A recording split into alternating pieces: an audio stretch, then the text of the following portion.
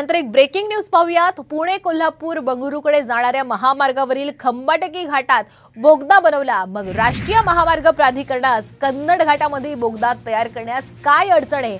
असा प्रश्न आता औरंगाबाद खंडपीठानं उपस्थित केलेला आहे. राष्ट्रीय महामार्ग प्राधिकरण जेवढ्या पैशांचा विचार करतंय त्या पैशामध्ये भुयारी मार्गाचं काम होईल असं मत खंडपीठानं व्यक्त केलेलं आहे. या प्रकरणाची आता पुढील सुनावणी वीस जूनला होणार आहे. तर आपण मोठी बातमी पाहतोय. कन्नड घाटा संदर्भामध्ये ही मोठी बातमी आहे.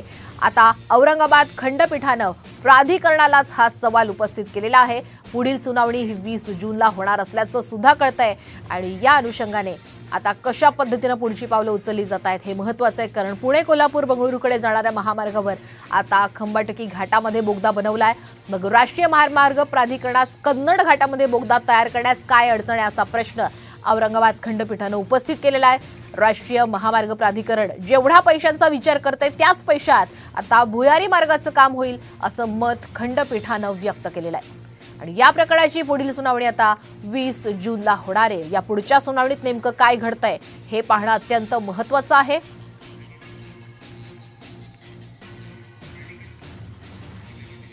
कन्नड घाटामध्ये बोगदा बनवायला नेमकी काय अडचण आहे असा सवाल आता औरंगाबाद खंडपीठानं प्राधिकरणाला उपस्थित केलेला आणि या संदर्भातल्या पुढच्या सुनावणीकडे सं- संपूर्ण राज्याचं लक्ष असेल पुढच्या सुनावणीत कशा पद्धतीनं तर्कवितर्क कशा पद्धतीने ही सुनावणी केली जाते आणि यात नेमकं काय निष्कर्ष येतो हे पाहणं महत्वाचं असेल.